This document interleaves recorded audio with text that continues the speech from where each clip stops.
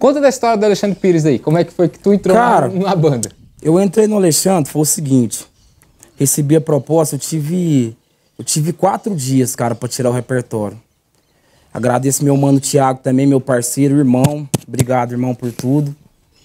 Entre outros também, que me indicou pro Alexandre. Tive quatro dias, quatro dias pra tirar o repertório.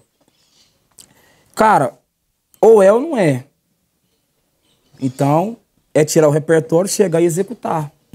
Não, não, não tem ensaio, E cara. muitas vezes só tem uma chance. É. É. Eu falo pra galera. A galera não estuda abrir. Ela espera primeiro ter a oportunidade, tipo, vamos gravar comigo. O cara sempre só entrar no estúdio. Aí tu chama o cara pra gravar. Aí o cara chega lá, não tem preparo nenhum. Bicho, até ele ter uma segunda oportunidade, Exatamente, ele vai ser é queimado. complicado, cara. Então tem que estar pronto antes. Tu chegou lá, tu tava pronto. É igual o cavalo arriado, cara.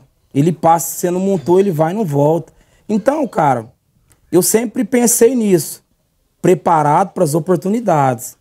Então, antes de pensar, ah, eu quero tocar com um artista, com fulano Beltrano, cara, eu estudei pra caralho. Cara, mas às vezes a galera fala, às vezes pensa, ah, estudou. Cara, é pra caralho mesmo, cara. É pra caralho, de verdade. Então, cara, quando eu entrei no trampo, eu tive quatro, quatro dias pra tirar o repertório, ou é ou não é. Cheguei no trabalho, cara, executei. Acabou o trabalho, os caras, cara, seja bem-vindo à família. Então, tipo assim, foi uma parada surreal.